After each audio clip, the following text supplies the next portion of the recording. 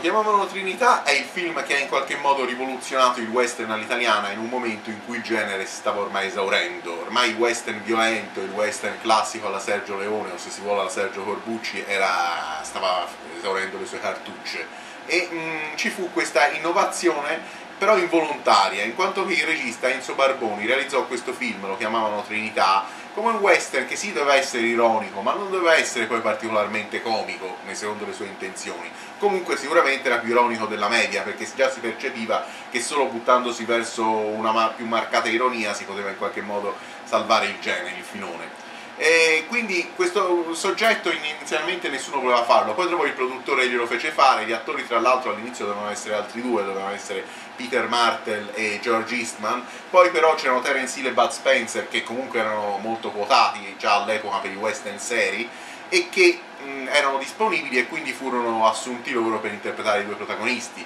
Eh, all'inizio addirittura il protagonista doveva essere solo Trinità, il personaggio de del fratello bambino fu poi... Eh, ristrutturato su misura per Bud Spencer. E questo western però, nonostante le intenzioni iniziali dovessero essere semplicemente un western ironico, eh, ebbe una, diciamo, un impatto sullo spettatore dell'epoca pazzesco, in quanto che le platee si sbellicavano dalle risate, anche quelle gag che erano pensate come gag semplicemente ironiche diventavano delle gag comiche pazzesche, quindi a questo punto si rese conto lo stesso Barboni e tutti quelli che avevano collaborato all'operazione che era nato un tipo di western comico che in qualche modo andava incontro a quelle erano le esigenze dello spettatore, quelle di, cioè di creare, di buttare diciamo non tanto in parodia ma quanto di trasformare in commedia quello che sinora era stato un western serio e violento.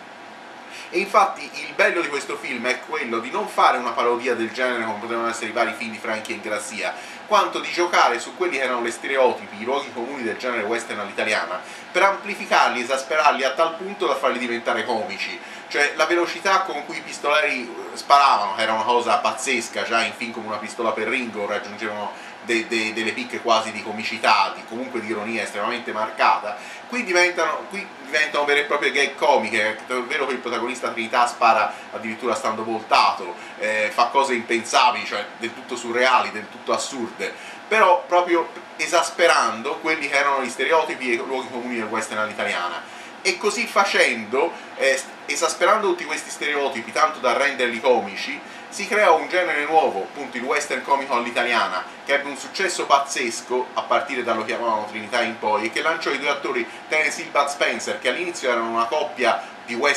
per, nata per i western seri, li lanciò come coppia comica alla, alla, stregua dei vari Laurel Hardy, tanto per dire, o Gianni e Pinotto. Li lanciò proprio una coppia di attori comici, tanto, poi, tanto è che poi avrebbero interpretato dei film non solo western, ma comici to court, anche ambientati in altre epoche diverse. Quindi fu un film che ebbe un'importanza pazzesca nel genere western, non solo, ma nel genere italiano eh, to court.